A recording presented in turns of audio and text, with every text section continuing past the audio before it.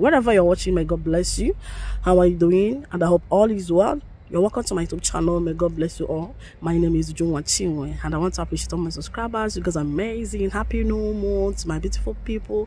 You're welcome to the month of April, and I pray for you in this new month. May God grant all your heart desires in the name of Jesus Christ. Amen.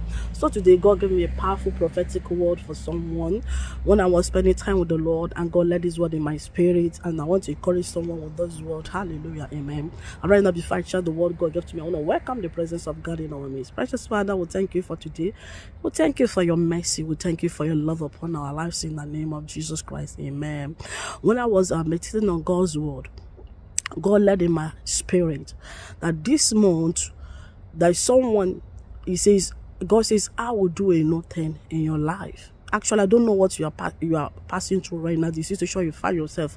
But God says, I will do a nothing in your life. God wants you to focus on Him and never give up on yourself and on God. And God says, I will help you. So no matter what you are passing through right now, no matter what's happened, never be afraid. God is with you. And God says, I will help you. And I will do a new thing in your life that you should forget the past, what happened last year, last month, what you couldn't achieve.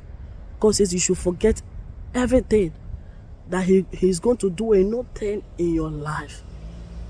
He's giving you new life. Hallelujah. Amen.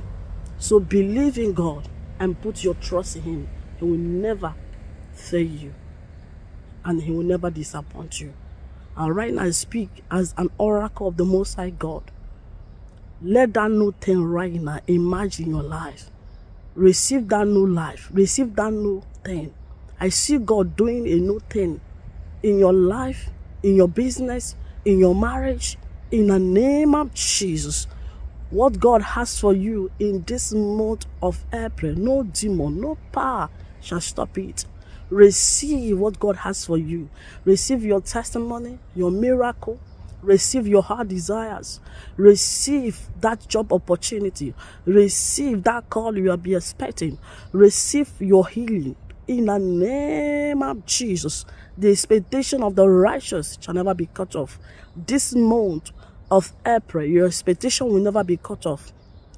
And people will congratulate you. You shall celebrate in this month of April. In the name of Jesus. And no man can turn your joy into sorrow. Receive your heart desires in Jesus' name. And finally, I pray for you. May God give you grace to serve Him this month.